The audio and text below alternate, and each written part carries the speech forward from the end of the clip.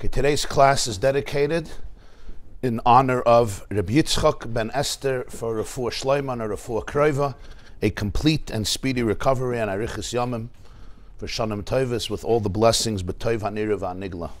Thank you very much, and a complete recovery at Rafua Kroiva. The first parsha that we read this week is Parshas Chukas. As I said last week, in Yiddishkeit and Torah, names are very crucial because they capture the inner theme of the person or the parsha or the thing or the idea that is given the name. As it says in Svarim, that the channels of energy come through a name. The tr- same is true with the name of a portion, chukas.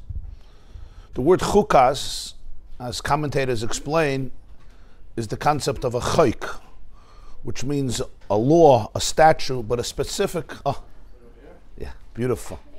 Thank you. Uh,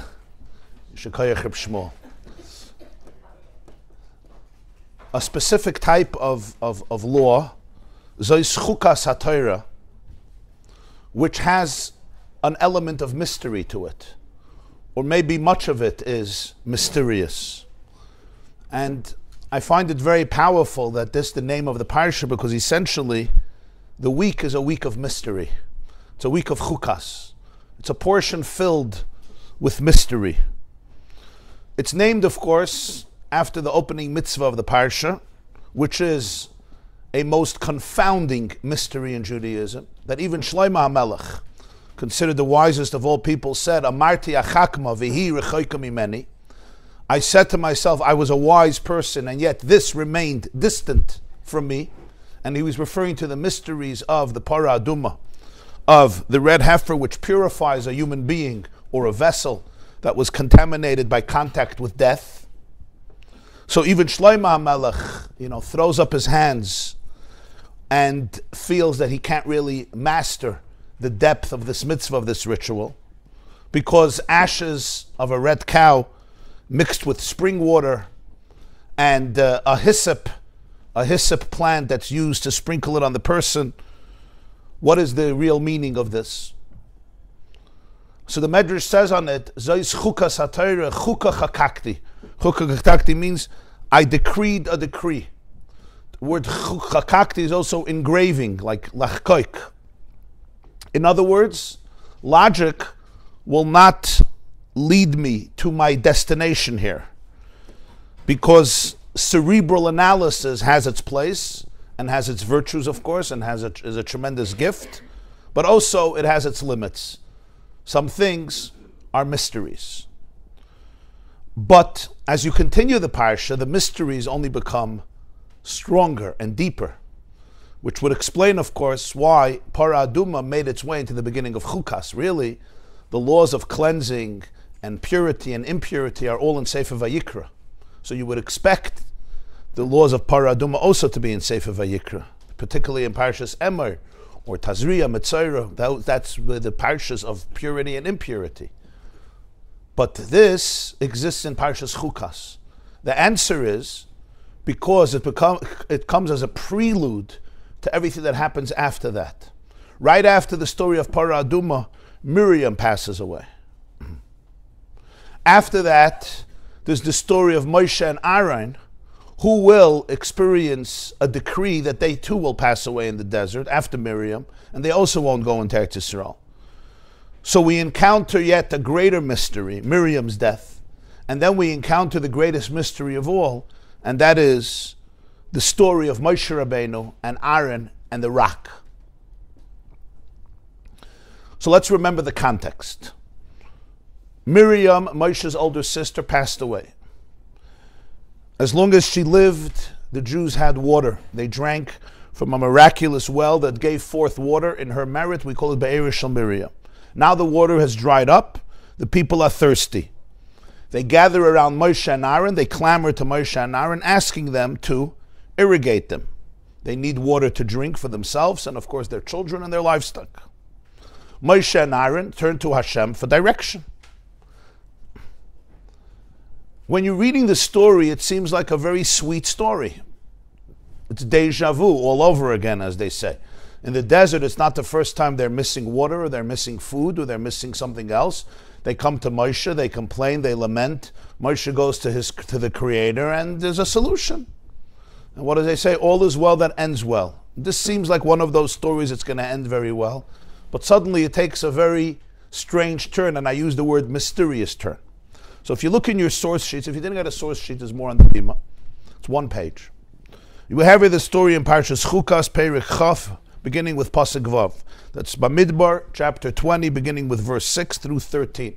Not many verses, but it contains probably the most or one of the most mysterious stories in Chumash. So the people are begging for water, they're pleading for water, they don't want to die in the desert. There's obviously no natural sources of water in this wilderness. So what happens? So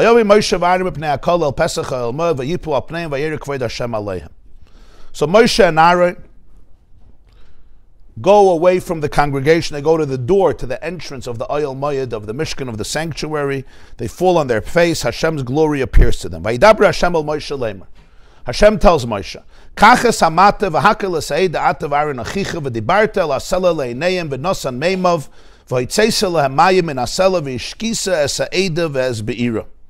Take the staff,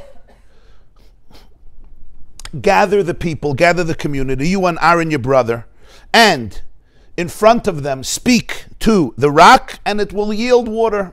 It will produce its water, and you will bring forth for them water from the rock for them and all of their animals, all of their livestock. Moshe indeed takes the stick from Hashem as he commanded. Vayakilu Moshe v'Aaron al hakol es hakol el pnei asala vayomer shimuna amorim amin zenoitzi They gather the people to the rock and they say, "Listen, O rebels, shall we bring forth water from this rock?"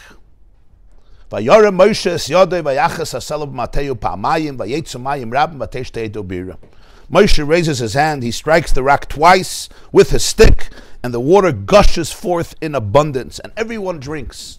The people drink, and the animals drink, the beasts drink, everybody drinks. At this point, it seems like a very beautiful story, doesn't it? I'm laughing just because how strange it is. If, if you would stop here, you wouldn't read anymore. It's a very beautiful story. Everybody was thirsty. Miriam passed away. There was no more water. You would think we would have a colossal tragedy of a few million people dying from thirst. Hashem once again comes through through Moshe Rabbeinu, and the stick somehow strikes a rock and water comes out mayim rabim in abundance. There's no shortage. Nobody has to fight for it. Nobody has to clamor for it. There's absolutely no shortage of any water, and everyone is satisfied. The animals have enough to drink. Lahavdil, the human beings have enough to drink. Altuzgit, everything is perfect. It was a grand miracle. You could take sticks from today till tomorrow and strike as many rocks as you want I don't think you'll produce water. And even if you'll somehow find a rock that has a few drops of water, I don't know how you're going to produce water for a few million people. What happens next shocked everybody. Until today, we read it and we scratch our heads. What's the next scene? Yan lo bi lagdisheni b'nei Yisrael lo asakol el oretz lehem. Hashem responds very differently. He says, since, since you did not believe in me to sanctify me before the eyes of all of the Jewish people, you will not bring them into the land that I have given to them. And the Torah concludes the story like as a postscript, as a summation.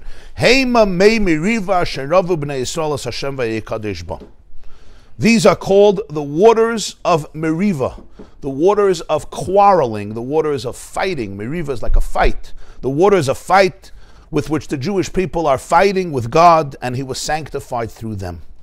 And that's the end of the story. Indeed, later in Parshas Chukas, Aaron will pass away, as Hashem told Moshe. Moshe Rabbeinu will actually pass away only at the end of Chumash, but the decree for him to die happens in Parshas Chukas. So from the mystery of the red heifer, we get to the death of Miriam, and then to the story of the rock, and to the death of Aaron. So indeed, it's a parsha of mystery. But the question we want to address today is the famous question. Everything seems good. The people needed water. Moshe gave them water. The people are happy. It's the end of the story. But apparently, something terrible has happened. The weather has changed abruptly. And Moshe and Aaron are denied the privilege they yearned for their entire life, which is to go into the promised land. In fact, the objective of taking the Jews out of Egypt initially was to go into Eretz Yisrael and to establish a society as Hashem envisioned in Eretz Yisrael. So for Moshe Rabbeinu, this was not just a small punishment. It was a colossal disappointment, which really denied him from something he was yearning and pining for for 40 years, to the point that we see that he does not cease to plead and pray for the annulment of this decree. Later in Parshas Veschanan, he will say, Veschanan al Hashem, I pleaded with Hashem to allow me to go in. And Chazal say Veschanan is the numerology of 515, that he composed 515 tefillahs, prayers, just to go into Yisrael, to the point that Hashem said, Stop already. Ravlach, stop, stop, don't talk to me about this anymore. And until the last moment, he would not stop. Right. Even if there was something wrong that happened here, the punishment seems so disproportionate. Usually, the concept of a punishment is proportionate with an action. Everybody understands that. And here it seems so out of the blue. It's like you're not expecting this. Like there's other stories with Moshe. Here, suddenly, boom, he, st- he struck the rock, water came out. Okay, you're not going into Eretz Yisrael. It, it, it's so strange that when you read it on a literal level, you're just scratching your head like, what happened? What is going on? What's the connection with going into Eretz Yisrael, not going to Eretz Yisrael? There was so many interpretations given to this story that I once saw a commentator. His name is uh, Shmuel David Luzzatto, and he writes. He says, "Poor Moshe Rabbeinu." because every commentator gives another explanation for what he did. So he says he did one sin, but if you read the commentators, he did like 13 of them because everybody has a different interpretation. Rashi has his explanation, the Ramban has his explanation, Rachaim has his explanation, the Rambam has his explanation. Kli Yakar has his explanation, the Sforno has his, has his explanation, the Abarbanel has, every Mefirish has another explanation the Sefer Shari Aaron, he collected 25 different sins that Moshe Rabbeinu did according to different Mefarshim. And the truth is, if you gather all the explanations that have been said on this, you will probably find a few hundred different explanations. So this man says, Poor Moshe, he made one mistake and it became 500 mistakes because everyone doesn't know what the mistake is. So they impose another mistake on him. it's fascinating, right? Man did one thing, whatever that thing is, Nobody knows what it is. Everybody has to find another explanation. This one says Moshe got angry. This one says Moshe called the Jews rebels. Rashi says he, he hit the rock and didn't speak to the rock. The Barbanel says it wasn't about this. It was about sending the spies. This was just uh, this was just like you know a pretext, a cover up. Everyone has a different interpretation.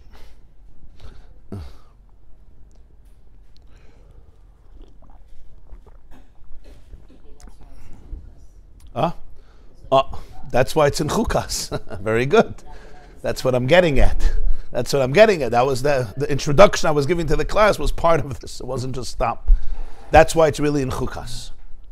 It's really in Chukas, and the name is Chukas because just like the Parah Aduma, even Shlomo HaMelech said, Amarti achak, I tried to understand Every part of Parshas Chukas is part of that mystery.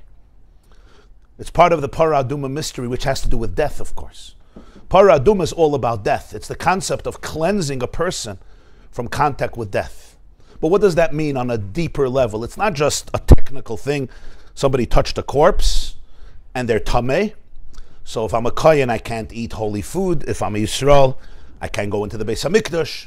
I can't eat karbanis. That's all true, of course. But it's also the concept of contact with death, not just physically, emotionally, psychologically. Can a person be purified after they contact, they have contact with death? In simple English, is there recovery after loss? Is there healing after loss? So we say life goes on, life has to go on. What should we do? But the question is, can it never be the same? Is there real tara? Of course, people move on and, you know, we have to live and eat and breathe and wake up in the morning. But the question is, you know, at what price? What does it do to a person? How does one deal with it? How does one react to it? How does one recover from loss? That's the question of paraduma. It's not just a ritualistic question about sprinkling the ashes in the water. What is the mechanism in the Bria, in creation, and in Torah to be able to heal from such pain, from such loss, especially when it's so mysterious and unfathomable? And after thousands of years of explanations, everybody knows there's no settling information that you hear and say, ah, geschmack, ah, mechaya with all the insights and beautiful insights and powerful insights and deep insights, there remains an element of chukas, of mystery. There's something mysterious about pain. And Moshe Rabbeinu's story with the rock goes right into that category because it actually touches the core of what happens with Paraduma. And what we want to explore today, other years we did we spoke about this story from different angles and different perspectives because there's the story has so many layers and different interpretations. And like everything in Torah, they're all true. You know, Shivim Panim LaTorah, there's 70 faces to the Torah, and every face is a real face, but it's a different face. And the Arizal says that every pasuk has 600,000 different interpretations. And that's in Pshat, and in Remez, and in Drushan, and Sod. So figure out, that's a few million interpretations, because he says every soul has its own interpretation. And there's 600,000 souls. So they're not contradictory to each other. It's just the fact that, you know, from the source of light, there are many different frequencies of light and they're all authentic. Today we want to explore one aspect. And as we will see, as it turns out, Moshe didn't lose the plot. The Rebbeinu Shalom didn't chas v'shalom lose the plot but rather Moshe knew exactly what Moshe knew exactly what he was doing. Hashem knew exactly what he was doing. When Moshe hit the rock and didn't speak to the rock, Hashem said, "Speak to the rock." He hit the rock. He was initiating a shift, a shift in consciousness, a shift in history, a shift in paradigm, a new direction for the Jewish people and for history. And Hashem's decision was not a punishment, as we would usually a punishment. You didn't listen to me, and I'm going to penalize you so that everybody learns a lesson and that you learn a lesson. But rather, it was a consequence of the reality that Moshe introduced at that moment. In order to appreciate this, let's study a piece of Zohar which says something very strange about this whole story and it right away shows us a different dimension to the story. I just have to say one thing. At the end of this class, it's all still going to remain a mystery. But, so why am I giving a class? I could have just said it's a mystery. You'll see why. Okay.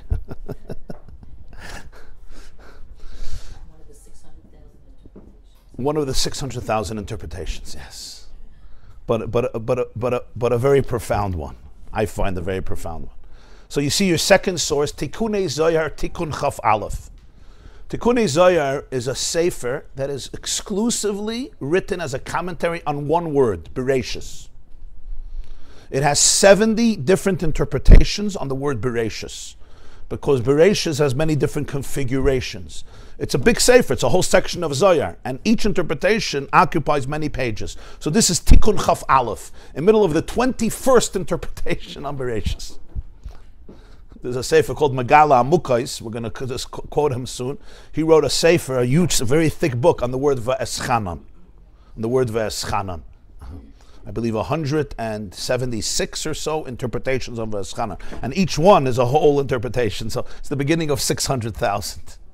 So let's see what the Zohar says. I'm going to translate. Imla de machabe. If Moshe would have not struck the rock, macha in Aramaic is strike, hit. Lo have a tarchin Yisrael v'tanoyim v'amiroyim ba'iraisa de. None of the Jews and none of the Tanoim, none of them, I none of the Talmudic sages would have to toil in the study of Torah, which is compared to a rock.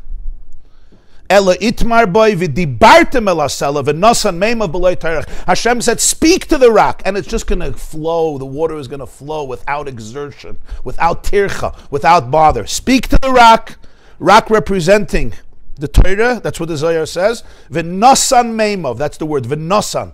Hashem said it will give its water. It will give like when you give freely, benevolently, generously, with ease, without a burden, without intensity, without complexity, without tercha. Ishes re'eyu ki kulam yedu.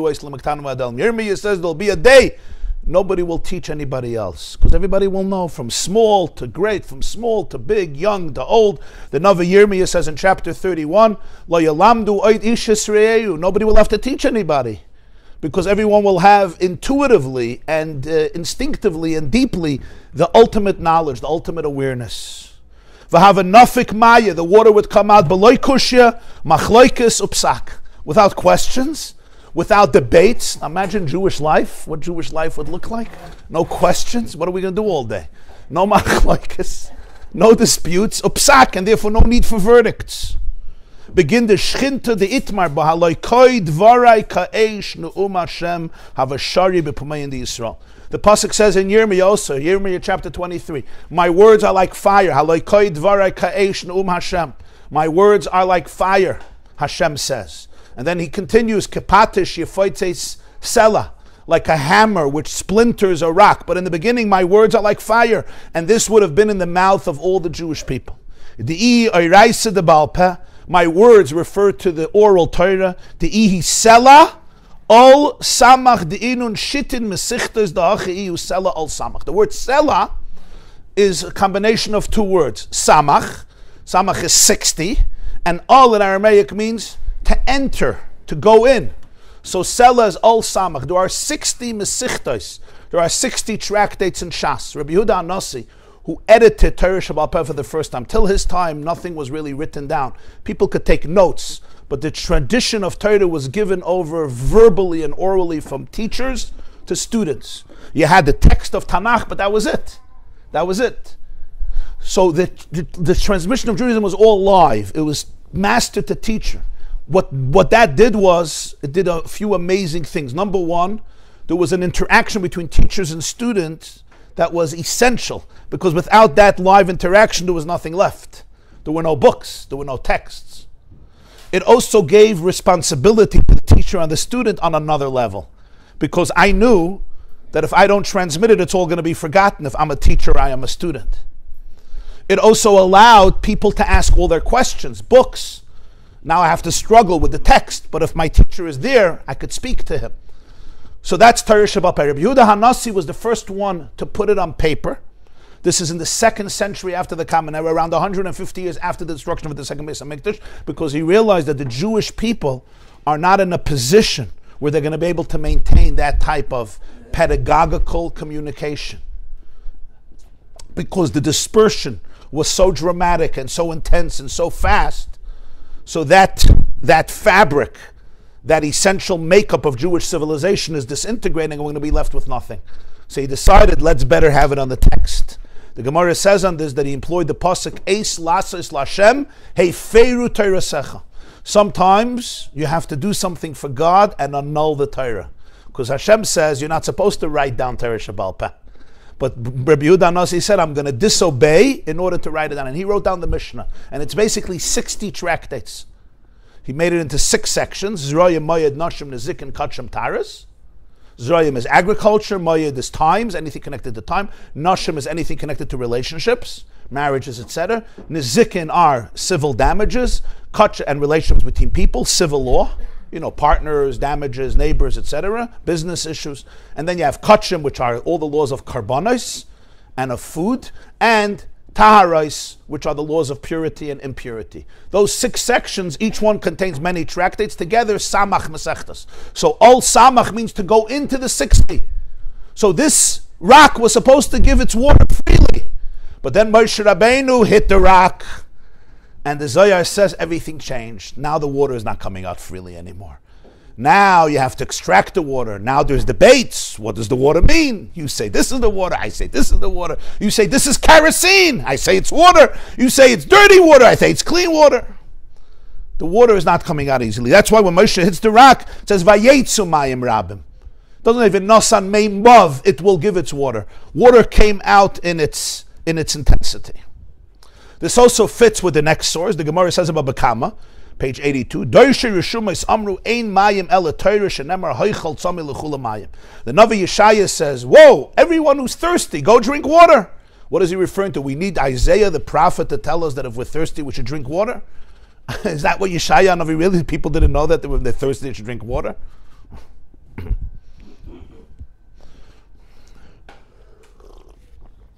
It's like, you know, when a woman tells her husband, you know, I'm so hungry, and he says, so go eat.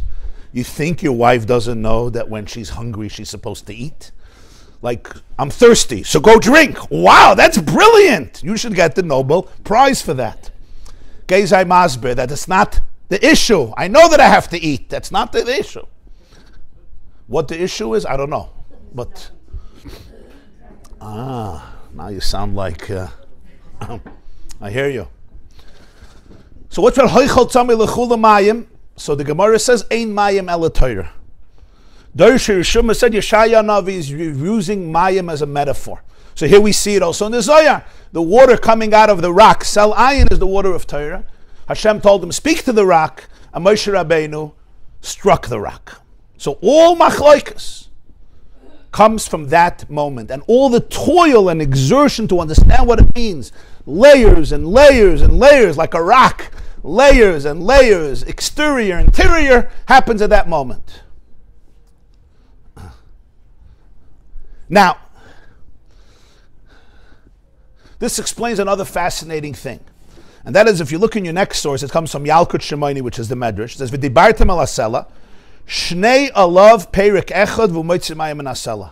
Hashem told Moshe, speak to the rock and teach on it one chapter of Torah, and it will bring forth water. What does it mean, teach one chapter of Torah? Which chapter was offered, what its basic laws were? Why do we say that before davening? So the Beis Yosef writes in Orach Chaim he quotes the the reason is because it's the one chapter in Mishnayos that has no arguments one chapter that has no debates. You read Ezel Mekayman, usually every chapter Mishnah already the first one there's a debate. Chachamim, Rabbi Eliezer, Rabbi Gamliel, every there's always debates. That's one chapter that the tradition from Moshe came clearly down through the generations. Nobody had any argument. So before we start davening, we say that chapter. It's fascinating. So he says that's Shnei Love Perik Echad read that one chapter of Ezel Mekaiman, which has no machlaikas. Because as the Zohar says, if he would have spoke to the rock, it would have just given out the water. Yet what happened? Dvarai ka'esh. Hashem says, my words are like fire. The pasuk continues, kepater shefoitz Like a hammer which splinters a rock when Moshe took his stick and he struck the rock, water came out. A lot of water came out. But it's like the rock was splintered into different dimensions. So it's like sparks go out from all the places. And such as in fact, the Megala Amukas writes, Reb Nosson Shapiro, that Patish is the same gematria like Mate Moshe. The stick of Moshe is the same numerical value, like the word patish, which means a hammer. Kepatish, the pasuk says there, like Kepatish, that was like a hammer. You fight it, it splinters the rock, and the water comes out from different directions and different layers, and therefore there is machloikas, there's arguments, and the main thing is there's toil, there's exertion. It's not easy to, to access it all. This explains why the Torah says, Hema me miriva. It's the waters of fighting. Why is it the waters of fighting? There was no fight here. You say, well, the Jews complained about water. Okay, they complained about water. They complained about everything. They still complain. People complain. Why, why are these waters called me Meimiriva, the waters of quarreling? There was no huge fight here. They complained. Moshe went to the Mishkan. Hashem told them what to do. But that's the name, Mei Meriva. The answer is because these waters caused the whole concept of Meriva. They were the waters that created a lack of clarity. And therefore, there is debates, there are disputes, like the Zohar says, there's machloikas, there's tircha. I have to exert myself to find the meaning, to find the depth, and there's so many different perspectives and different issues. It's a different, it's a different type of sela. In fact, there's a fascinating and very mysterious interpretation in the Zohar. Hashem told him to speak to the rock. It says Moshe struck the rock pa'amayim twice. Like we just learned, Vayach Moshe, Vayachas Haselav Mateyu pa'amayim twice. So the first time didn't work. So there was striking, and there was more striking. And in Tehillim it says, Hein hikad sur vayazuvu mayim, vayazuvu. The word is vayazuvu. So the Medrash says, the Zohar says, Ein ziva el adam. We have in Chumash a zav and a ziva. A zava, it's a form of, of, of blood that gets emitted. It's different than there's dam nida and dam ziva. You have to know how to distinguish. Today we have a hard time distinguishing. But in Allah it says, Vayazuvu mayim. He says the first time he struck, blood came out of the rock. Which only, only extends and expands the mystery. Where does blood come into here?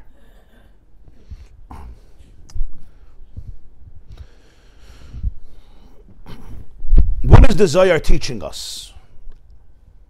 And of course, the big question is why would Moshe do any of this? We all know that people have different temptations. I never heard of a temptation. Instead of speaking to a rock, you're going to hit a rock. It's like, no, I'm not going to talk to them. I'm going to hit the rock. Besides, between you and me, I think that hitting a rock and producing water is as miraculous as speaking to a rock and hitting water, producing water. It's maybe a little harder, but it's also a very it's a it's a grand it's a grand miracle. If water, ein mayim ela Torah, if water represents wisdom and inspiration, the Jewish people come to Moshe and they're asking him for water.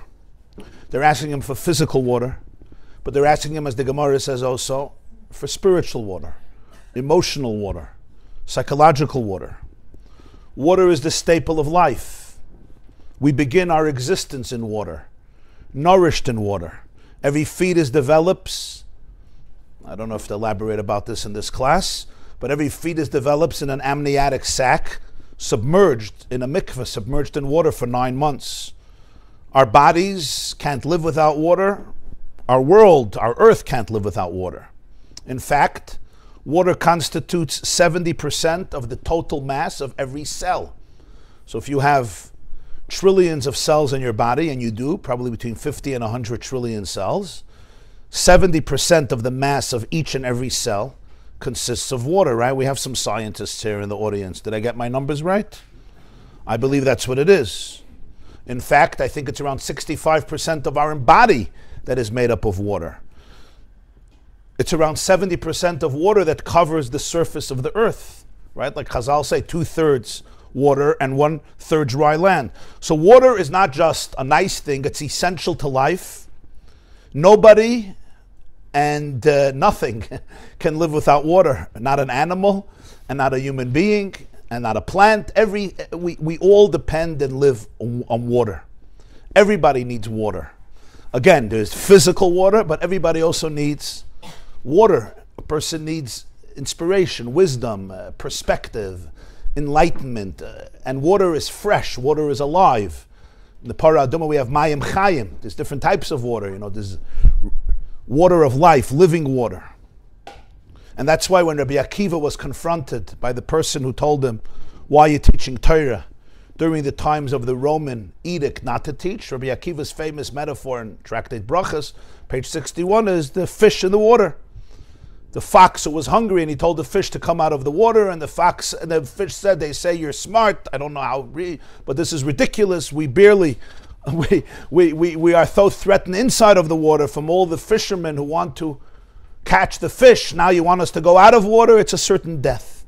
So Rabbi Akiva again was comparing, comparing water not just to a, as a physical source of life, but also as an emotional and spiritual source of life.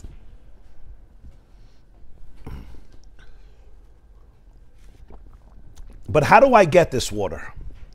There is speaking to a rock, and there is hitting a rock. And it's a completely different type of water.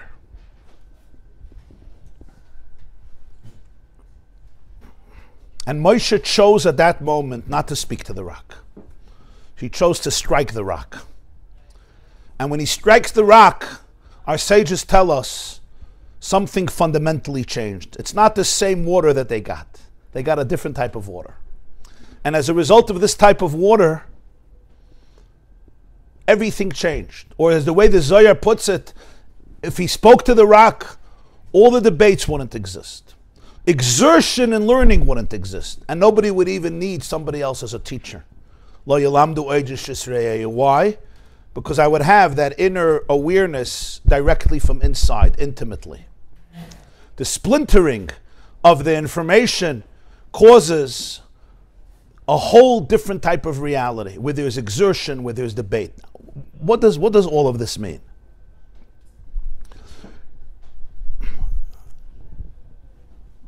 Words, words, by definition, contain and capture an external dimension of a person's life. Think about it. If somebody were to ask you to talk about the weather, to talk about uh, summer plans, to talk maybe about politics or a shev, making a sheva brachas, to talk about exterior design or interior design, to talk about concepts you're comfortable with or you know about, so people can talk about things for hours.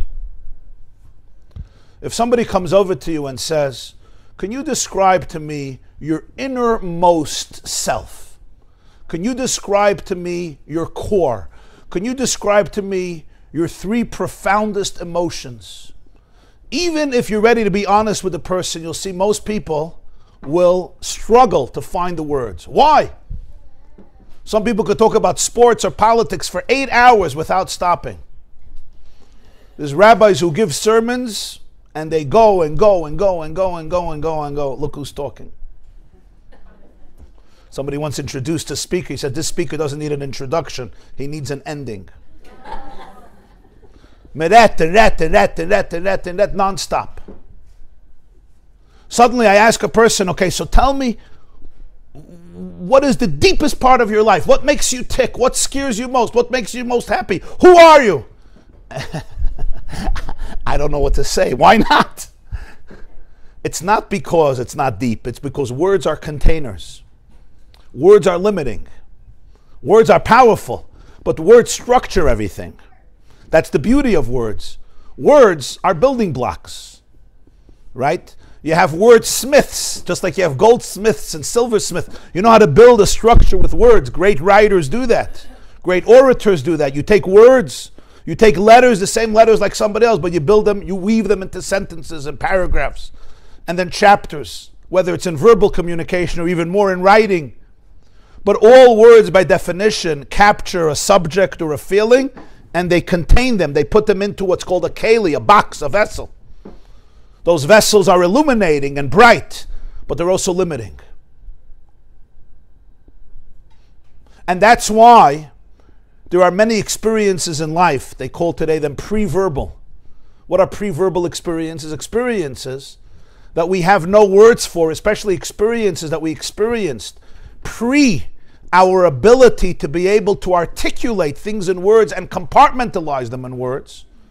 And therefore, words will not help me access them because they didn't go in through words, they're not going to come out through words. Ideas and feelings that I access through words, I can talk about them. They have the context of words, they have been defined by words.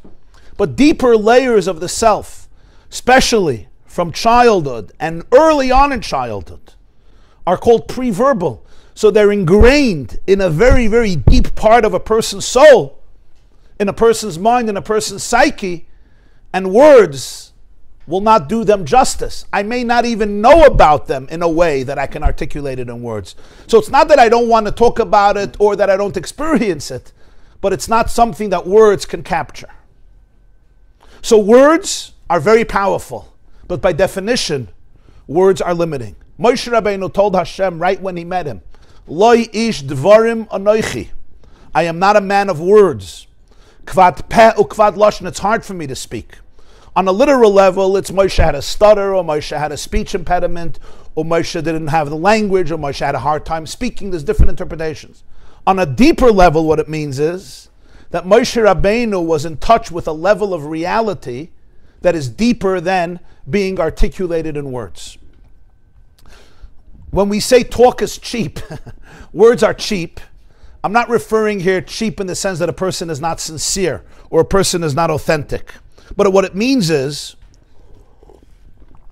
that words by definition can pay, pay just, can, can, can display and pay justice to a part of ourselves that is more external, a part that's accessible to me, and it's accessible to me in a way that I can talk about it, I can analyze it, I can dissect it.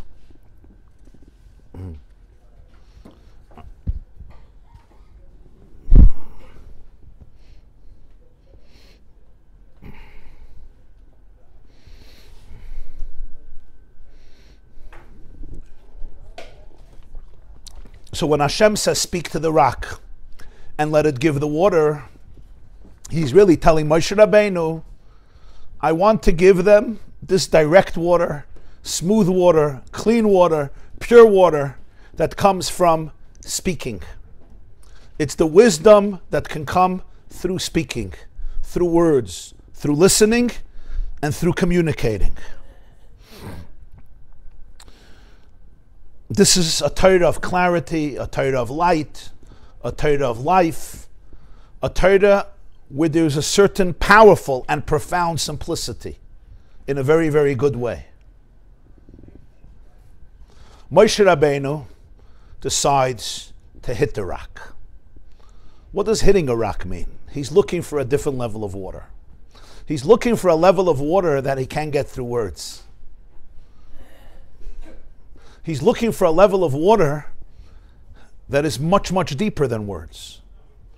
So Moshe doesn't even speak, he does an action. It's a completely different dimension of wisdom, of inspiration, of truth that comes out. Talking will get me to the surface of things.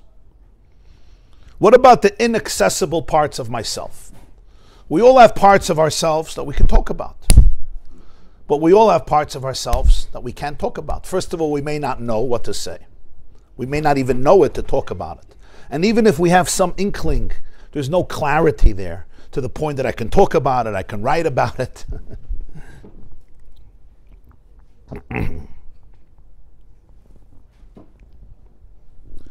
you know, for a whole generation, for a century, talk therapy was a very, very big thing. It's still a big thing. And it was the concept of helping people talk about process, information, emotions, and talk about it and give it meaning and give it structure and put it in context and explain the background.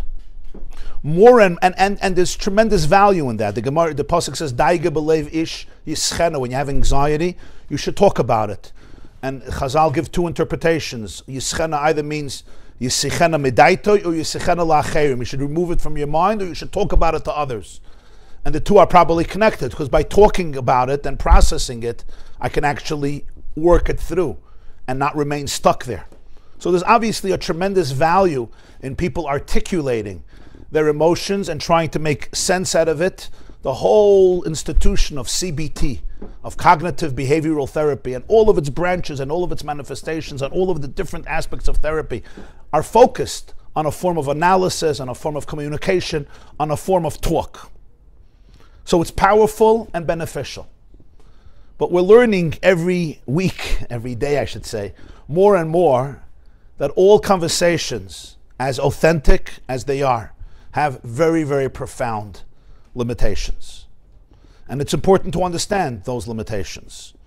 Because if I'm suffering from a trauma that occurred to me in my youth, especially in my earliest years, or a series of them, developmental trauma or one event or major events or even not major events but a series of events that included you know emotional neglect or, or I was didn't feel safe or secure or seen or soothed or, or misunderstood whatever it is it affects a space in my primal brain that is deeper than words so now you're talking to me from a place of, of verbal self and you want me to articulate it in words I can't. I have no words for it. Words are too poor.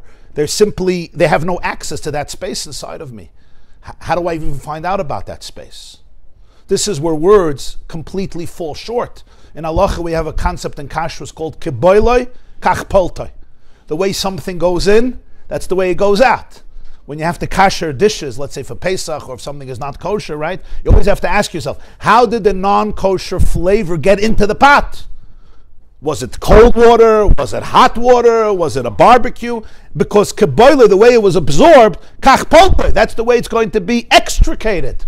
Why is this true in chemistry and kashrus? Because it's true psychologically. The way something goes in, that's the way it's going to go out. If it went in through words, if I'm 40 years old and you told me something that insulted me, it went in through words. I gave it words. I can spit it out through words. If I was two years old, one years old, three years old, even five, six, seven years old, didn't necessarily go in through words. Especially the younger a person is, the more pre-verbal, the whole boiler was a different experience. So now the piltai, the spinning it out, is a completely, completely different experience. It didn't enter my system through words, so I need tools to get to my subconscious self, my pre-verbal self, my primal self, my amygdala, the stem of my brain, where things are encoded very, very deep emotions, uh, fears, insecurities, uh, uh, brokenness, shame in such a deep space, and I don't even have the regular kalim. Let's talk about it. That's where people don't realize the limits the, the, words can do it, and that's why more and more tools are being developed, literally as I speak, but in recent years and decades, in order to be able to access those layers of self. Major successful forms of therapy, for example, is somatic therapy. What's somatic? Somatic doesn't deal with words. The body keeps the score. It's dealing literally with the body. The body knows everything. And it's literally a form of not beating the body, not striking the body as striking the body, but yeah, touching different parts, not through words. All different forms of energy healing, different forms of healing that deal with the nervous system or deal with subconscious memory, things. Uh, EMDR or somatic or nerve, all these types of forms. There's many. I'm just I'm not mentioning. I'm, I'm not an expert in them, but some of you are very well familiar, and we have even some people trained in various therapies. There's also different different types of uh, forms of healing medicines, therapies, and they're designated on one thing. They're designated towards one goal, towards touching a much deeper layer of self that is hidden beneath the surface and where words really, really fall short. Where did all this begin? It began with Moshe Rabbeinu, the rock, the rock. I am a rock. Everyone is a rock. Not everyone. Some people are. but there's a rock. There's a rock in a person. There's also water inside the rock. If you take the word sela, the Beri Mayim Chavis, take the word sela, look at this. Sela is three letters, samach, lamed, ayin. If you spell out the word samach, samach is samach mem chaf, samach. Right, spell out, write, write out or pronounce it samach, right? Samach, samach, samach mem chaf. What's the middle letter of samach? Mem. Go to the lamed. Lamid, lamid, lamid mem dalid. What's the middle letter? Mem. Now let's go to ayin. That's the third one. Samach ayin. How do you spell ayin? Ayin, ayin, ayin. Yud nun. What's the middle letter? Yud. Very good. So we see we have a mem and a mem and a yud. That's mayim. So what does that mean? That means Sela is a rock. But if you go inside the rock, If you go inside, if you go to the core, if you go to the inner letter, you're going to find Mayim. You're going to find Mem and Yud and Mem. That's what Sela. For that, you have to have the right ayin. You have to be able to have the right eye, the right perspective, the right glasses, the right prism, the right vantage point, the right microscope or telescope. But I have to be able to have that ayin because at the surface it's just hard. There's no water here. This is dry, this is tough, this is harsh, this is cold, it's a rock. A rock feels no pain and an island never cries. Or so it seems, or so it seems. Because if you dig a little deeper, the Sela has a lot of mayim in it. It has a lot, a lot of tears, and it has a lot of blood. So there's the water I can extract from words. There's water where words fail. I can't get it through words. And Moshe Rabbeinu wants to give his people that water. He wants to give the water that words cannot access. In other words, a whole deeper layer of self, which is much deeper than verbal communication, much deeper than articulation. Because remember, words are amazing, but they're finite. That's what a sentence is. And that's why when you're very, very emotional, and I say, What are you feeling? I don't know. Why can't you tell me what you're feeling? It's not because you don't want to. I'm not talking about if you don't feel comfortable with the person. You may feel very comfortable, you trust the person, but you can't even tell yourself what you're feeling. And this is what creates sometimes a lot of complexity because remember, any emotion that we never had words for growing up, what do we have to do with this emotion? huh? So you name it. And what if you can't name it? So either you're very, very embarrassed by it, extremely embarrassed by it, or you give it the wrong name, or you give it the wrong name, or you work very hard to make believe it doesn't exist. And all of these have serious consequences as we get triggered with these same emotions growing up. Because I don't have a name for it, or whatever I don't have a name for is very scary. Especially as a child, you know, if I could have a name for it, it could be predictable. But some things we can't name, and there was nobody there to give it a name. So if somebody experienced something very emotionally devastating, and there was somebody to give it a name, there's almost like a certain definition that I can deal with, I have a relationship with. If there was no name given for it, and I don't even, I'm not even in an, uh, at an age where I can give it a name, so what happens to it? It remains nameless. But you know what it means it remains nameless? It remains present all the time in every part of my being. It doesn't have context. That's why real trauma doesn't have a time and doesn't have a place.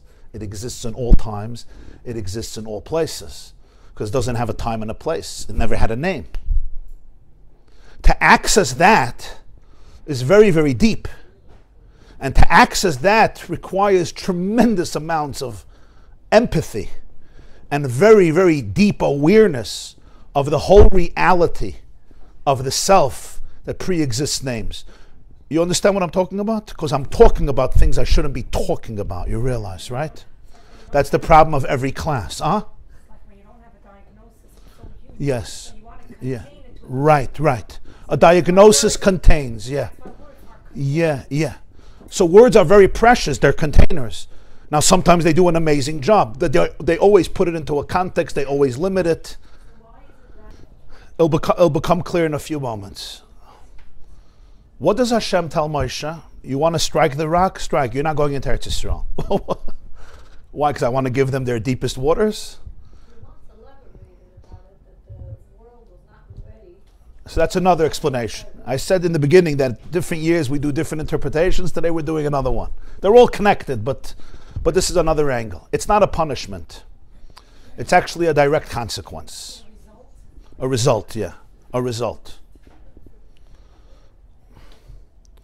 And as we will see, Moshe, till his last breath, was trying to fight this result in a very good way.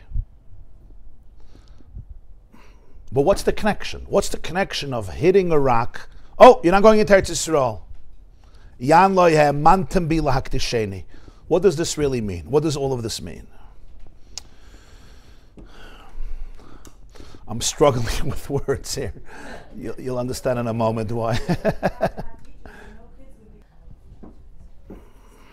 one of the most, uh, one of the most, I would say, painful, maybe tragic truths about life, and I'm calling it painful and tragic, even though it's a truth about life, is that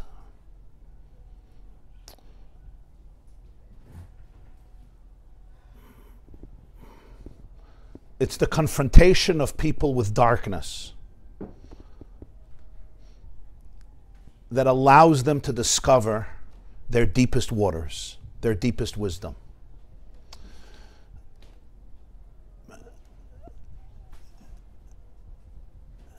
You know, once in a while you meet a person and the person has a special halo, is that the word?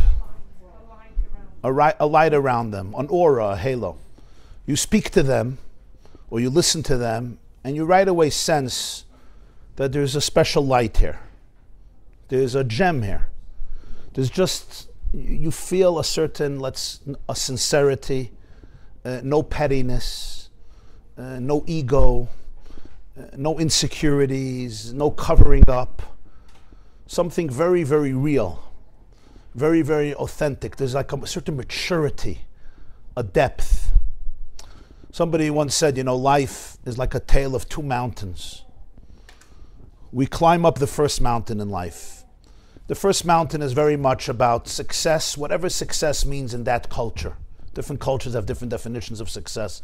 But I climb that mountain and I work hard and I get to the top of the mountain. Maybe I get to the top, maybe I get close to the top, maybe I'm trying to get to the top. And that's a mountain where the word is success. The word is I want to fit in. I want to make it.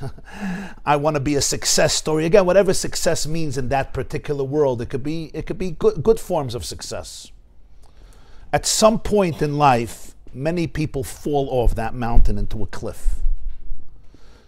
Either it happens simply because of experience, sometimes it happens because of children make us smarter, sometimes it happens from a difficult difficult challenges mental, psychological, emotional, spiritual, family, marital.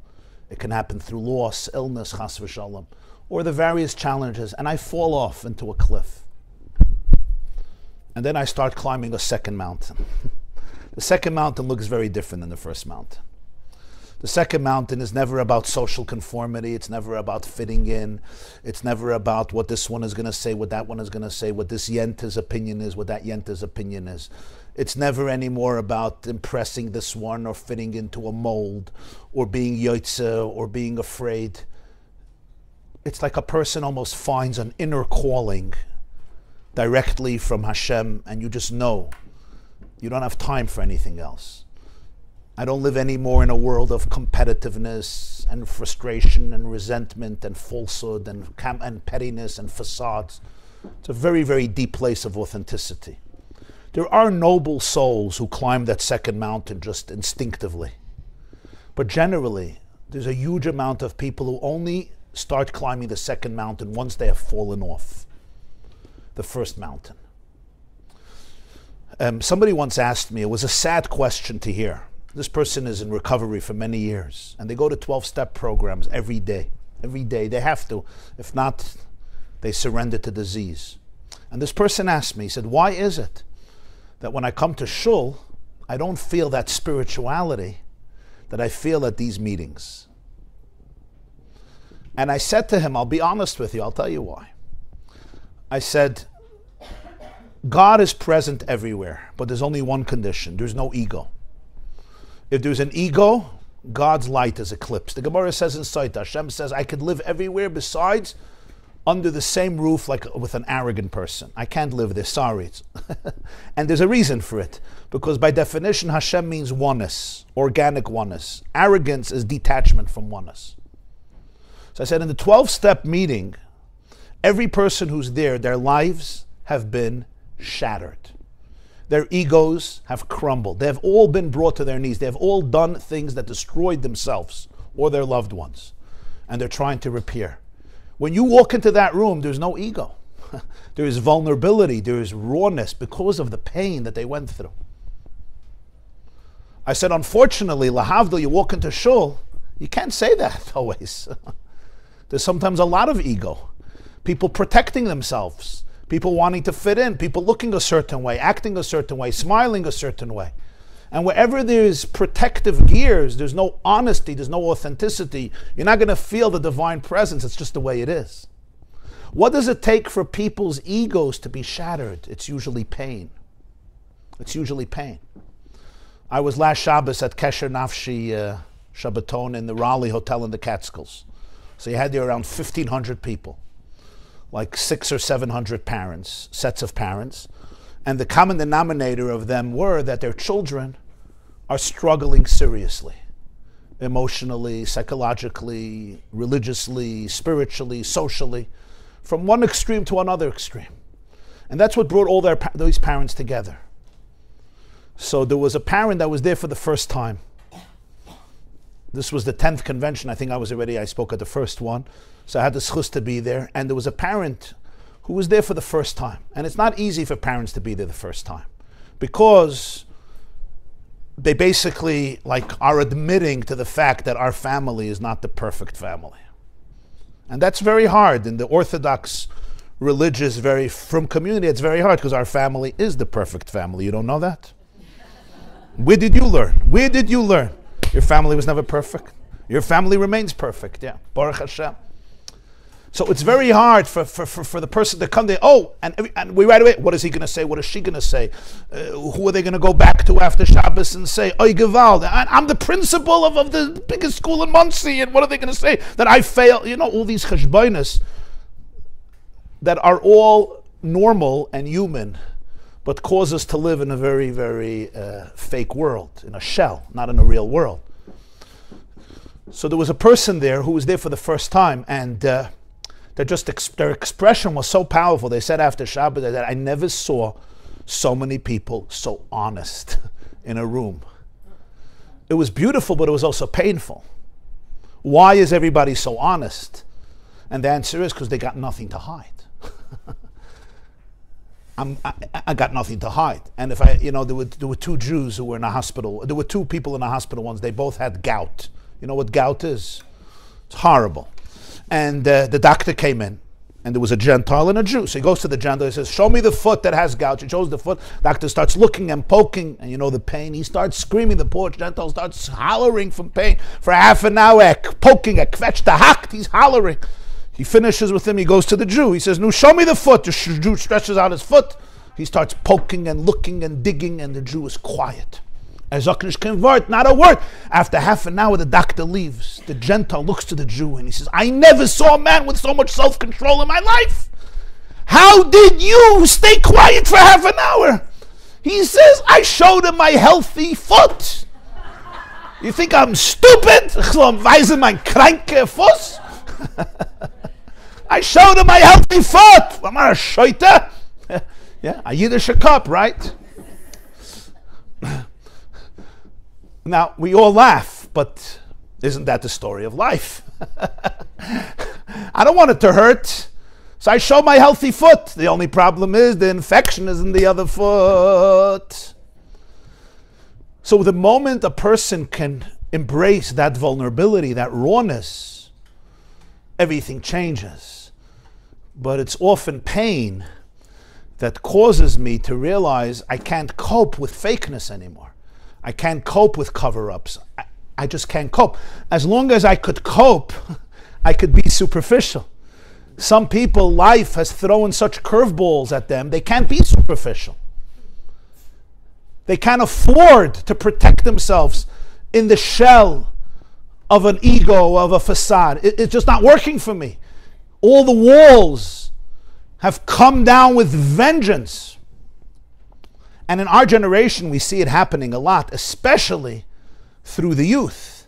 They're challenging their parents and grandparents and systems in such profound ways that the regular methods of just do what I did, just like I did what my mother told, my father told me to do, is just it's not effective in so many ways. And people are challenged to go to a much, much deeper place. And so many traumas are coming out, which are pre-verbal, and therefore they have to challenge me to go to my pre-verbal places and ask myself, why am I reacting in this way? And where is this hate coming from? And where is this anger coming from? And this disappointment and this rejection. It's a whole different level of self awareness that is required when you're dealing with realities that don't work. If my car functions, I don't have to pick up the hood.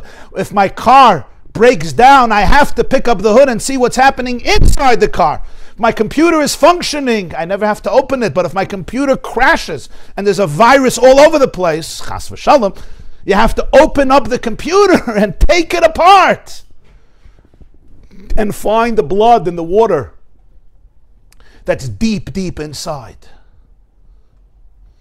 In my journeys, and I've have, I have, I have and I had the privilege of meeting many, many, many people, both in person and through correspondence. And it's even hard for me to say it in words. I'm struggling. You see, I'm struggling for words with this class, and usually I don't struggle for words so badly. Uh, it's always awe inspiring to me to speak to people who have been through the ringer and have been through challenges that nobody can even imagine sometimes that people can be through these challenges or people should experience these types of struggles or perpetrators should do these types of things to people.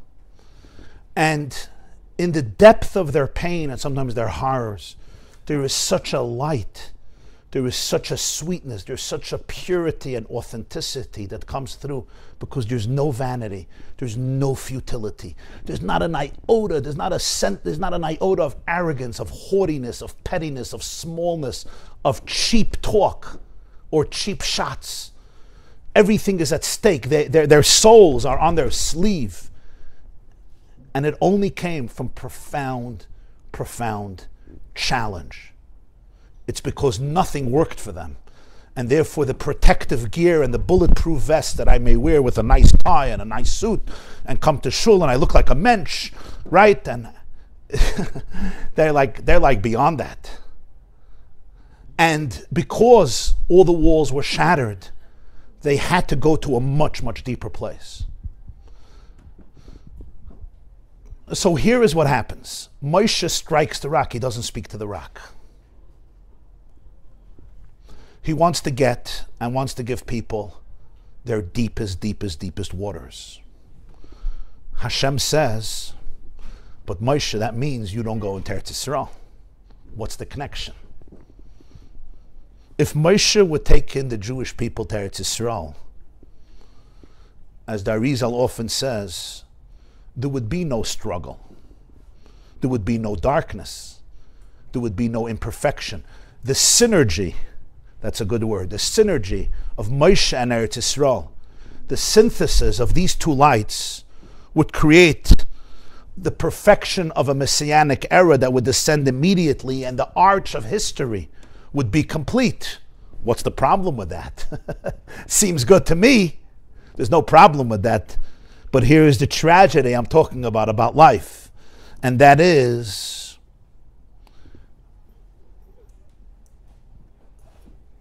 the path to discover people's deepest light comes through darkness.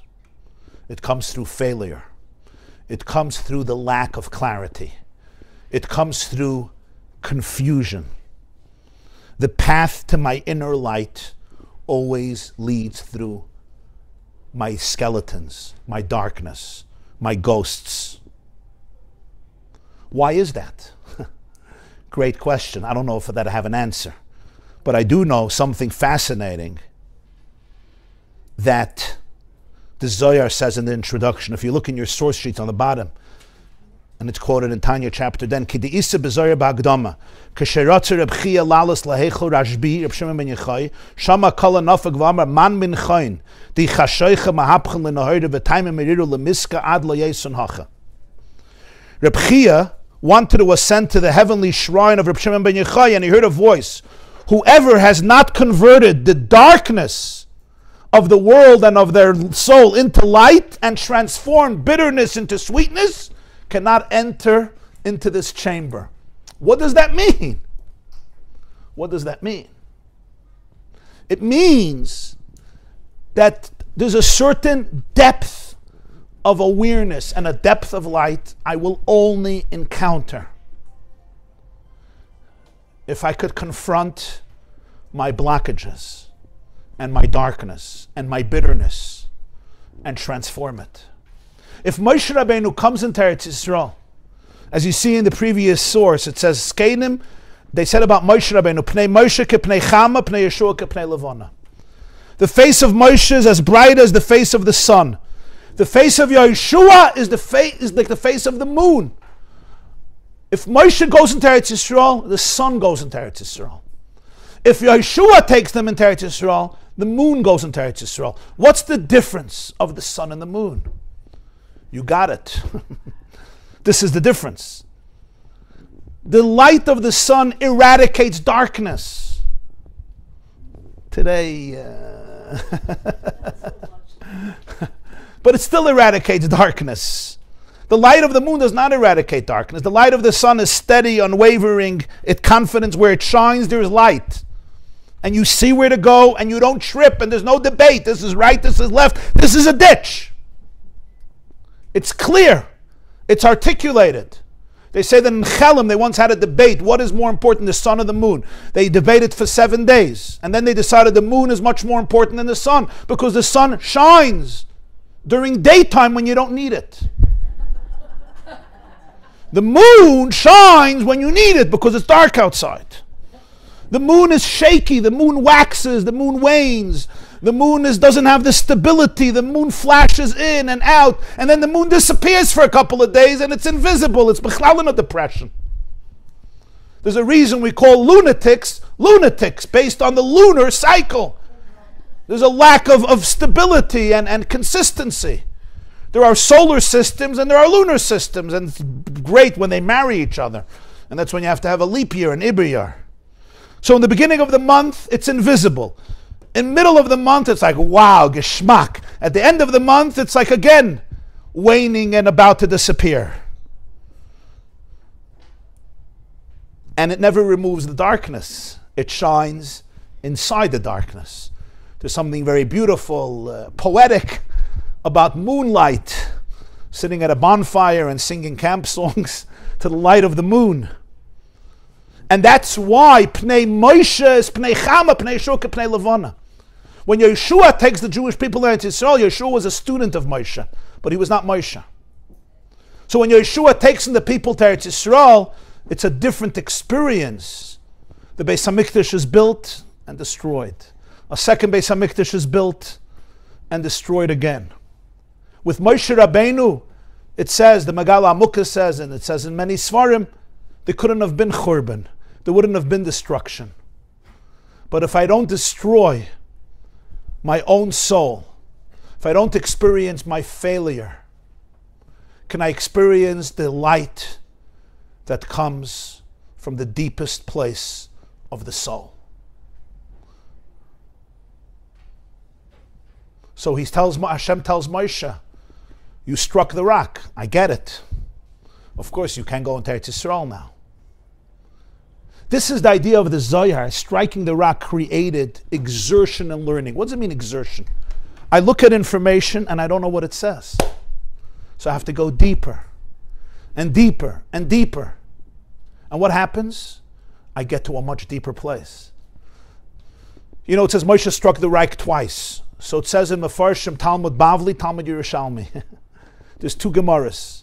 The difference is the Gemara says about your Talmud Bavli, the Babylonian Talmud, B'machshakim hoshivani. Yirmiyah Navi says, I've been placed in darkness. Says the Gemara, Zeh Talmud Shel Bavel. The Babylonian Talmud is called darkness. That the Gemara of Eretz Yisrael is much more direct and succinct and it comes to conclusions fast. The Babylonian Gemara, and that's what your boys are doing for like the last 12 years, every page is another page saturated with debates and questions and refutations. There's an idea and then the idea is challenged and then there's an answer and the answer is challenged. And sometimes you can have 10, 20, 30 times and it's challenged more and more and more and more. Could you give me the water? There's no water. You got to strike and work and work and work and work. But at the end, it's a different level of water. It's like the water that comes from under the earth. The well springs are much more fresh than the water you're going to find in a lake or a pond or a river or a canal or an ocean or even rainwater. Rainwater comes from the clouds, from heaven. It never has the freshness and the clarity like the Mayim Chayim of the Parah Adumah, the living well springs that come under the earth. Why? The answer is because the water that comes from under the ground struggles its way through the Gidei it's called the veins of the earth, and it receives all the nutrients of the rocks and the gravel and the soil and the earth and it struggles its way, and that's why there's nothing as fresh as spring water to quench a thirsty soul. But that's the water that struggled and it was buried and deep, and you had to dig and dig and dig, and you had to literally strike. You can't just talk to it and get the water. It's a different level of water. There's so much more nutrients because it had to work through its way. That which I have to struggle for, I own. And that which I struggle to find the light that I had to work for because I had to work through darkness, it gets all the nutrients of the darkness. That's what Rashbi is saying. You see, every every experience that a person has, Every blockage a person has is hiding a very, very deep light.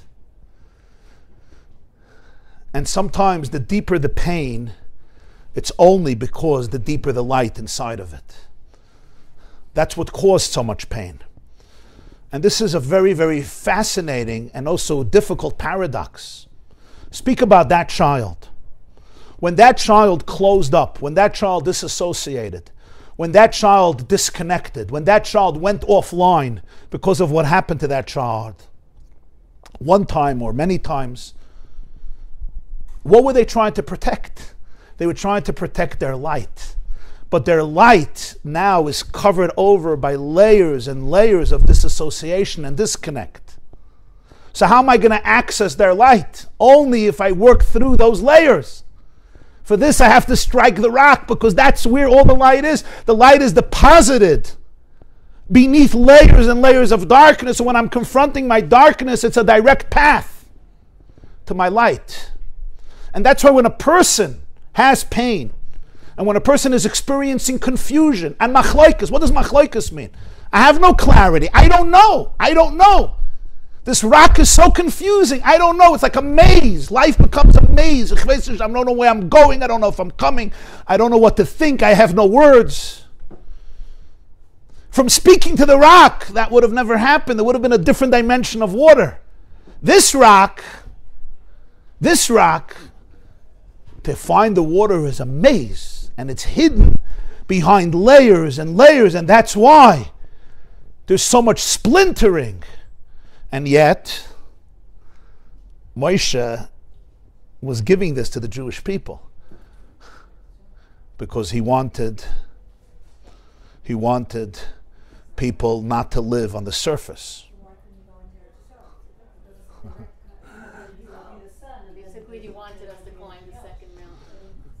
Moshe wanted to give people the second mountain, not the first mountain. Moshe wanted to give people their deepest, deepest, deepest truth that is hidden that is hidden behind layers and layers. So that's what we explained because you have to feel this experientially. It's not so much about words. If Moshe comes into Eretz Yisrael, there's no darkness. So it's a direct result. It's the, it's the darkness, the failure, the struggle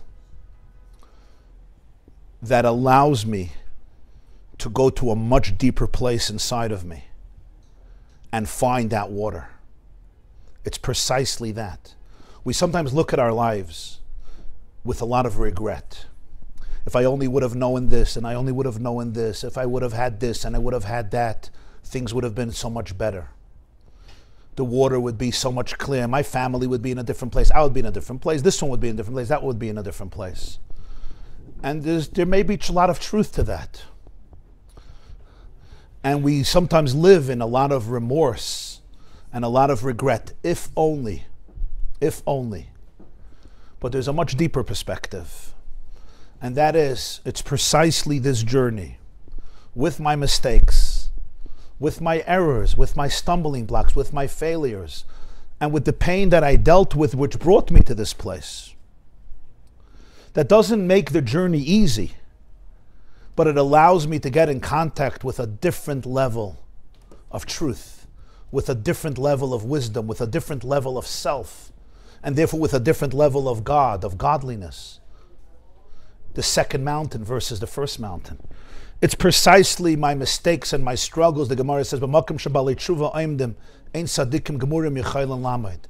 Where the Baal Teshuva stands, that tzaddik could never stand. Why? Just because he's a good guy? That's not fair. But it's precisely that because it's my failures and my darkness that causes me and challenges me to dig and dig much deeper. It causes me to shed layers that I would never have to shed. And furthermore, number two, it causes me to find the secret inside the darkness, what it's holding on to, what it's protecting. What water is stored deep, deep, deep inside that's protected by layers and layers of fear and trauma. But there's an infinite light there, and I'll tell you something else. the greater the blockage, usually the greater the light. Churchill said during a time of war, truth is so precious we protect it with bodyguards of lies.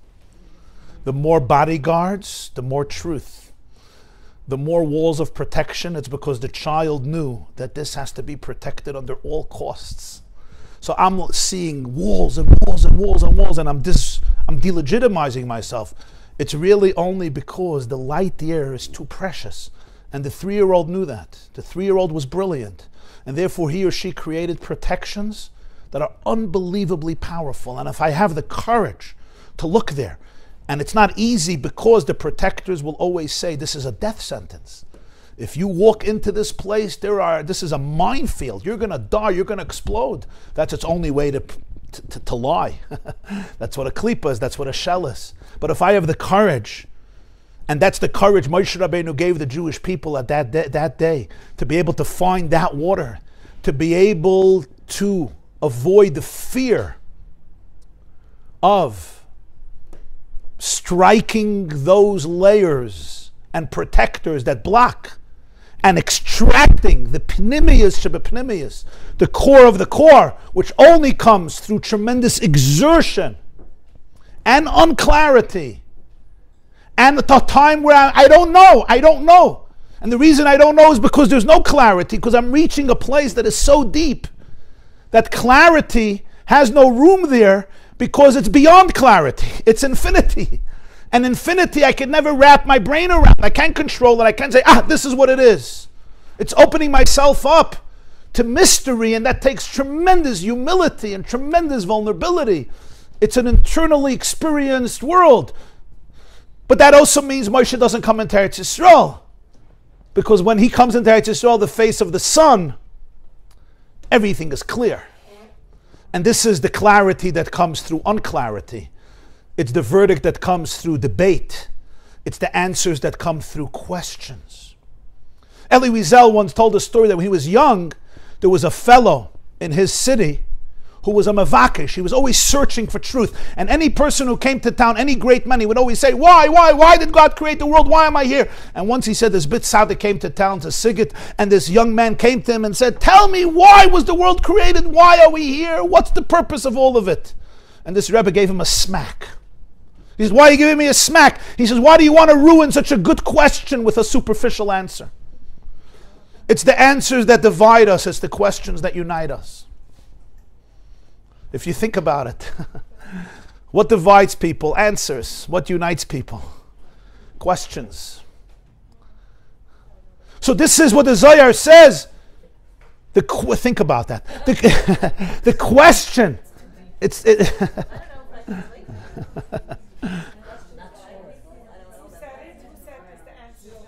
He didn't say a name. He just told a story.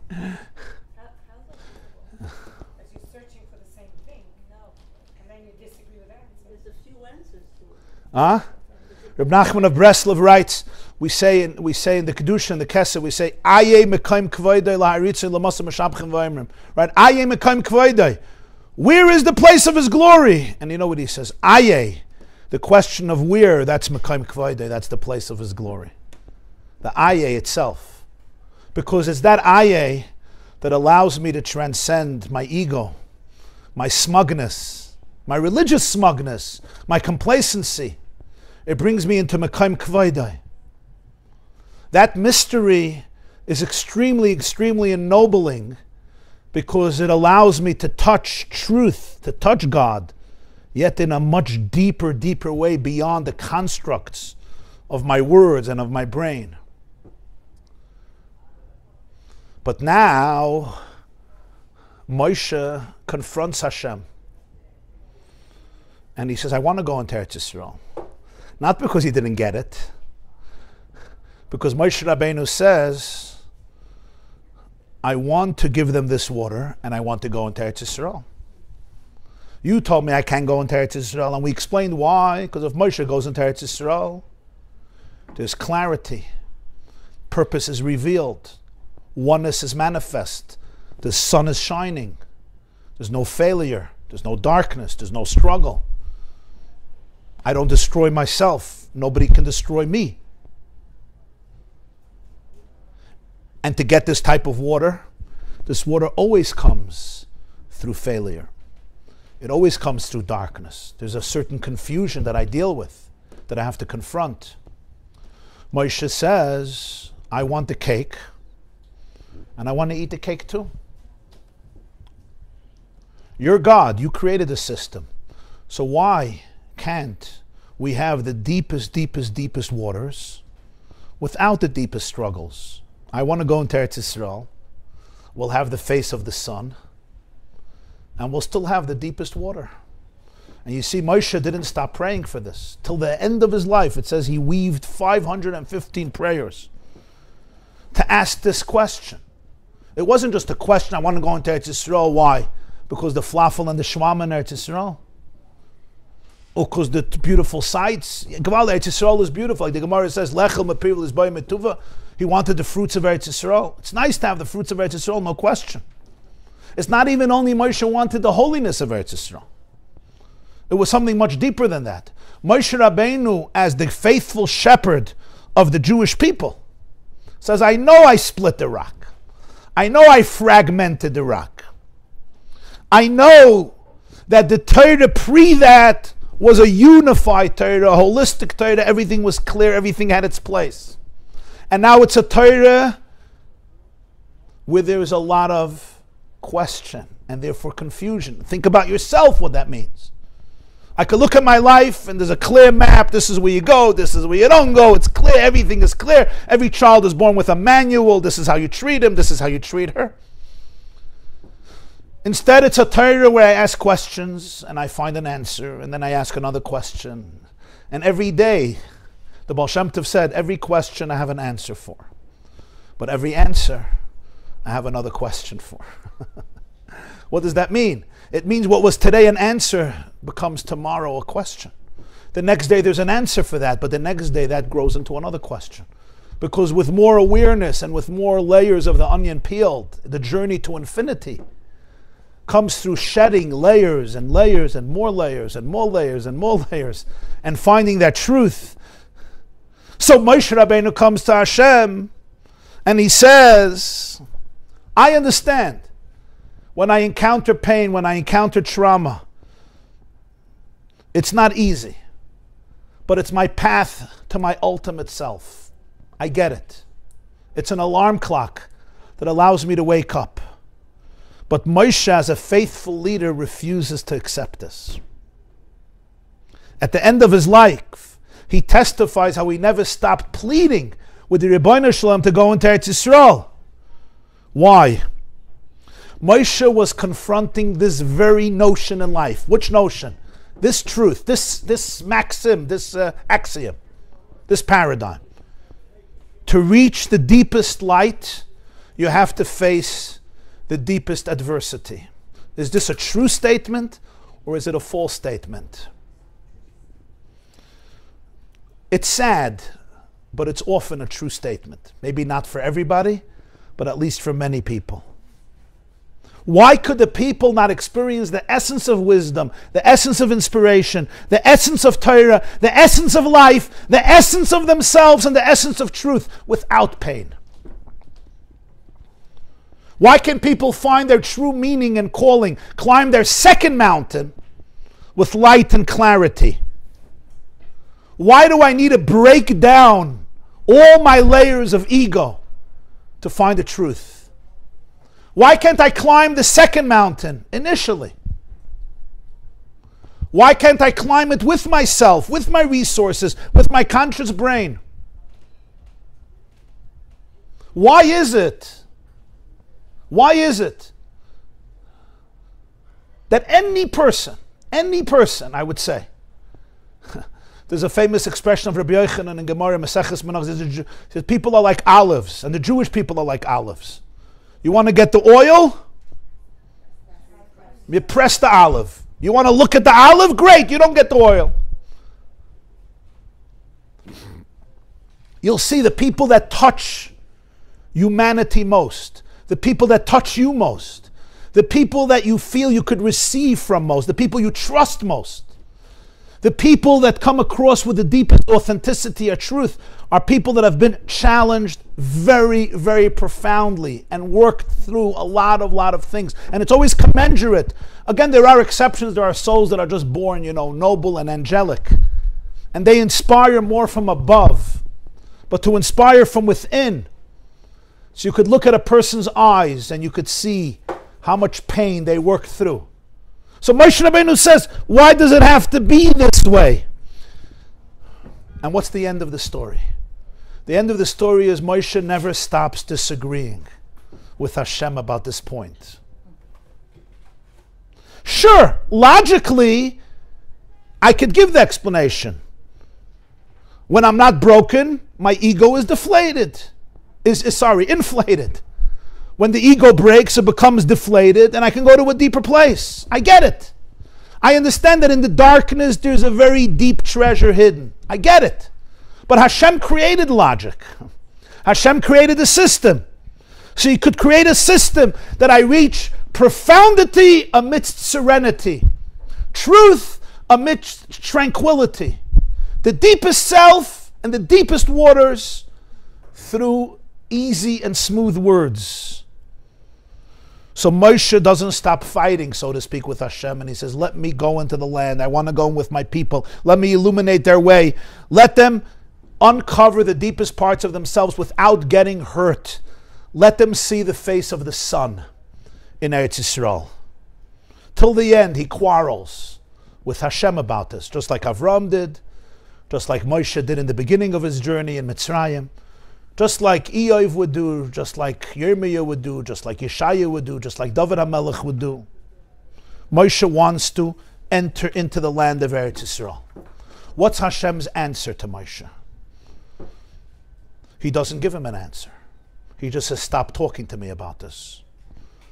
Here we come to the ultimate mystery of creation, chukas.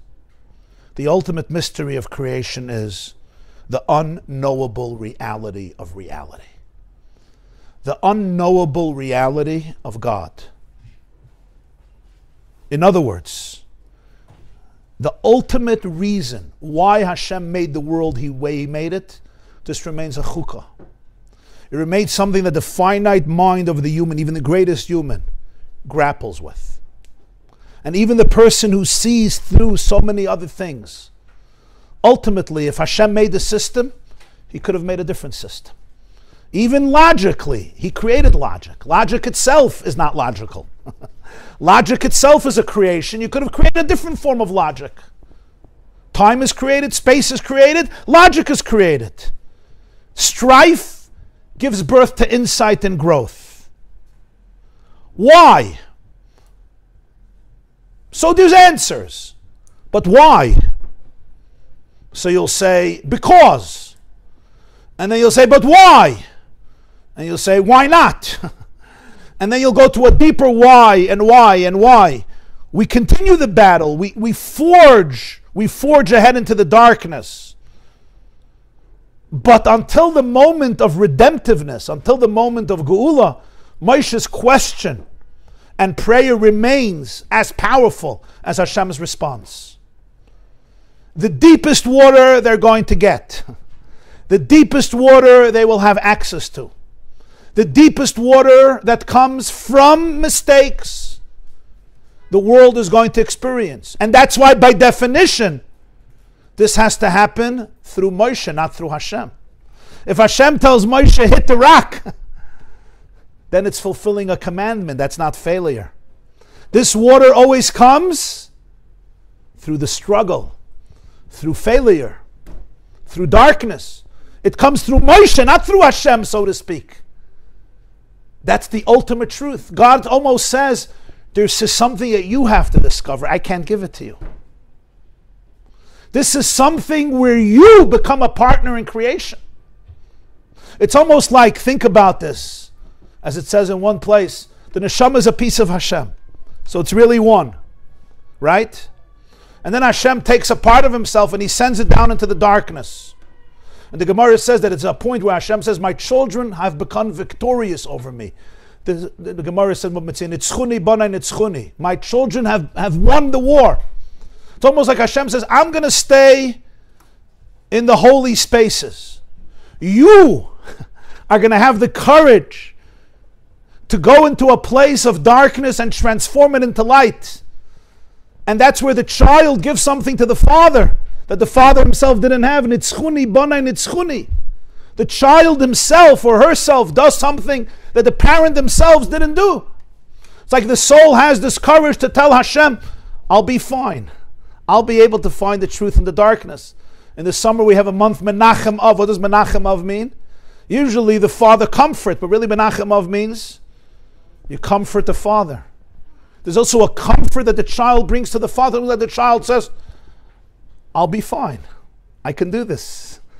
I got it covered. I got you back. The soul is so infinite, is so powerful that it brings and it reveals to Hashem something that Kevayachol is deeper than what was revealed before creation. What was revealed before creation was light. And then the soul comes and reveals the deepest light that comes from the darkness. This is only the soul that does this. So Yafe Koyach Ben Mikoyach the child revealed something in the father that the father, so to speak, didn't experience in a revealed way in himself. If we could speak that way, nitzchuni, banai nitzchuni, my children were victorious, like we give back a gift, the gift of transformation. This comes from Moshe. So when you ask, why, but why, but why, why, why, why, why, it says, there's, there's, there's a space of mystery. There's a space of mystery. Somebody who says, I'm going to figure it all out. I'm going to get this whole picture straight. I'm going to have it clear. By definition, you're not dealing with this level of reality. This level of reality throws people into a place of deep confusion and deep, deep questions. And at the end, we say, There's a mystery here. And even Moshe Rabbeinu himself, till the last moment, says, But why? Let's do it differently. And Hashem never gives him an explanation. Not because he's trying to keep Moshe in the dark, because this is something beyond the realm of explanation. This is something beyond the realm of logic. This is something beyond the realm that my brain will be able to grasp it. It says when Mashiach comes and the ultimate light will be revealed, in the most revealed way, the infinite light will dwell in the finite containers of the world. It's called Oros d'Tohu b'Keilim d'Tikkun. There will be able to be the fusion of the two, the deepest waters, and Moshe Rabbeinu will come into Eretz Yisrael. Only because of the Avodah over thousands of years of the world and of humanity and of the Jewish people.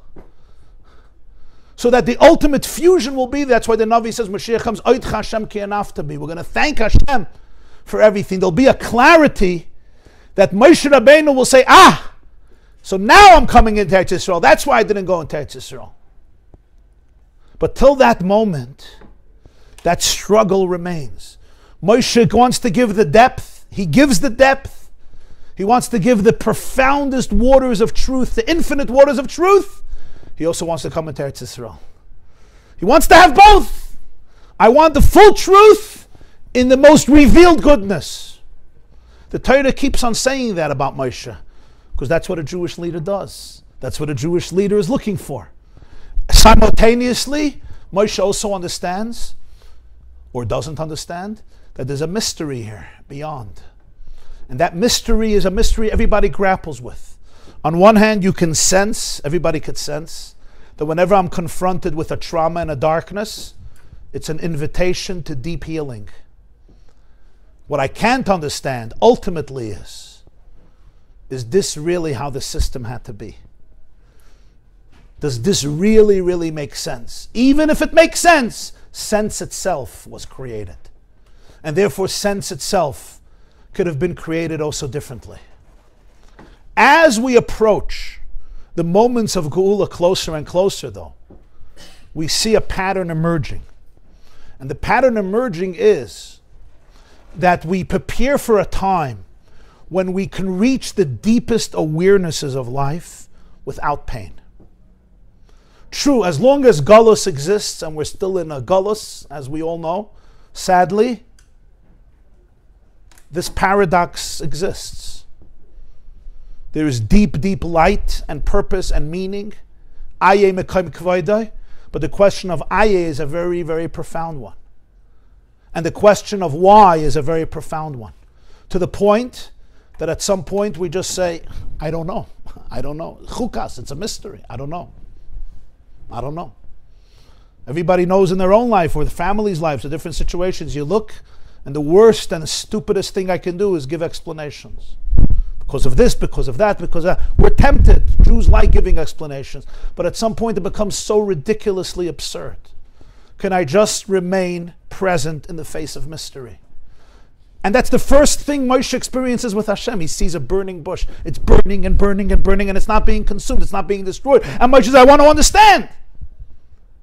I want to understand how it works. Somebody is on fire and they're not being destroyed. And Hashem says, Take your feet off, take your shoes off your feet. This is holy soil. This is sacred soil. This is something very transcendent, very deep. At the end, Moshe will say, I want to go into Eretz Yisrael. Let's make it work in the most integrated way. Why do you need this Parah Adumah? There's death, and then we become contaminated, and then there's cleansing. This whole process is so painful. And what's his answer? There's an ultimate, ultimate mystery here. This paradox lives in mystery. And I could create room for that mystery. How? Not trying to wrap my brain around it and contain it in finiteness. I could remain open to the infinity of mystery. And I also want to remain open to the fact that we're coming to a time when we don't have to experience the shattering of the self in order to open ourselves up to infinite truth. But rather, the concept of Geula, the reality of Geula is that the whole light of redemption, the infinite light of redemption, can be integrated. Integrated within the self integrated within my identity, within my wisdom, within my heart, within the physical and material world. So if even the deepest waters demand that Moshe shouldn't come into Eretz Yisrael, there comes a time where Moshe does come into Eretz Yisrael. That's in the ultimate chibur, the ultimate fusion, where the very self has been so elevated and transformed that the very self can become a container for that which is beyond the self, the ultimate fusion of heaven and earth. And that's the experience of Geula. Everybody have a wonderful week. Thank you. And next week we're on Tuesday, 9:30 a.m. Thank you. Thank you.